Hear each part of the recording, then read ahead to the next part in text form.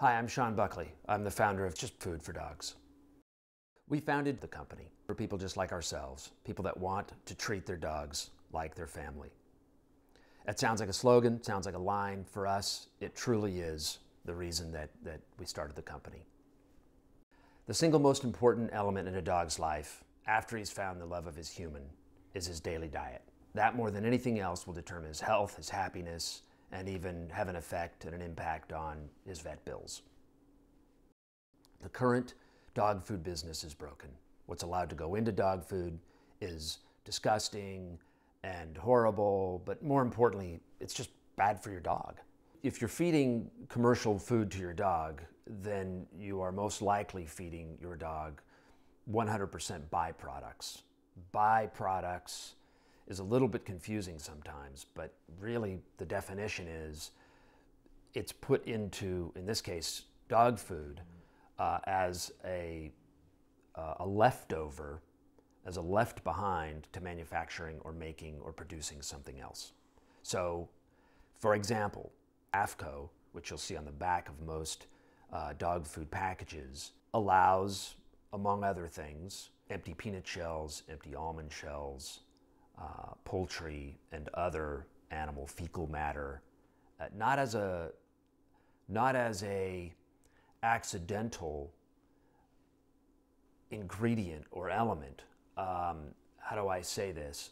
They actually allow in their regulations for the collection, intentional collection and inclusion of these items into dog food and other feed for other animals.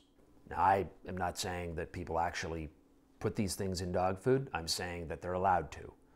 And most of the large manufacturers of dog food uh, are primarily not in the dog food business. They are primarily in the human food business.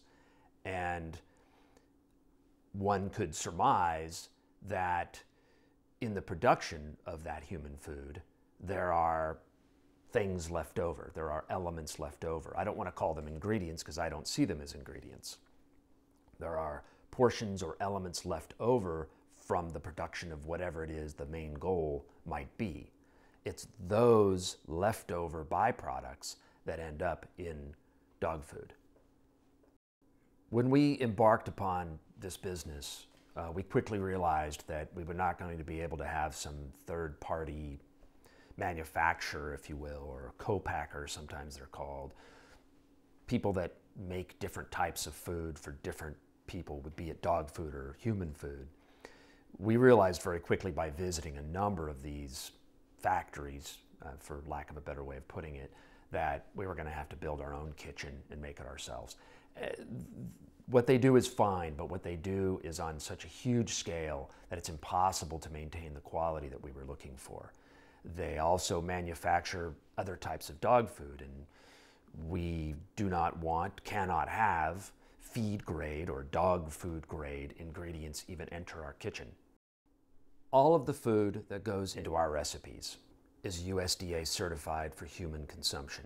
The fruits, vegetables, most importantly, the protein, the meats. So if you see lamb or beef or turkey on a list for us know that it's USDA certified for human consumption. I oftentimes will eat the food, try it, taste test it. There's nothing in it that you wouldn't feed your human family. And that was important to us. Our story really involves three components cooked fresh, packaged frozen, and delivered to your door. The cooked fresh part is simple.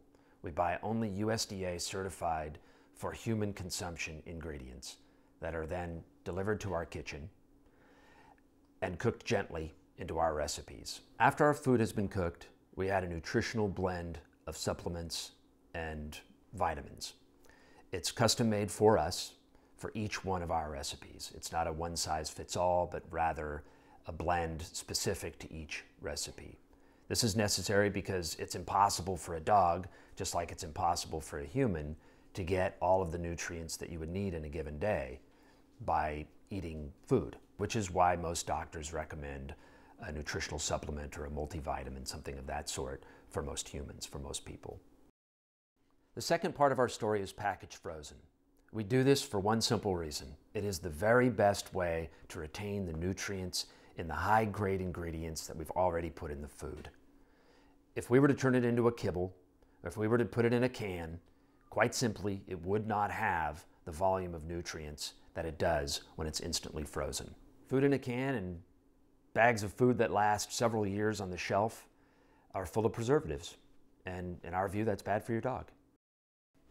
The third part of our story is delivered to your door, whether that's actually a local delivery or whether we're shipping it on dry ice, or if it's somebody in the local area and you want to pick up at our store in Newport Beach and see our kitchen, all of those are designed for your convenience. The ultimate goal of this three step process is to get the very best food in the world in your hands to feed your dog.